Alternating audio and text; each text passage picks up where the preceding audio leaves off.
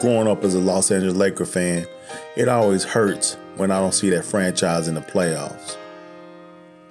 I remember spending many nights as a kid watching the Los Angeles Lakers Showtime past midnight, knowing that I had to get up at 5 or 6 the next morning, Central Time. Hmm. Learn about that and so much more in my new book, Behind the Lyrics of a CEO, coming the week of Juneteenth.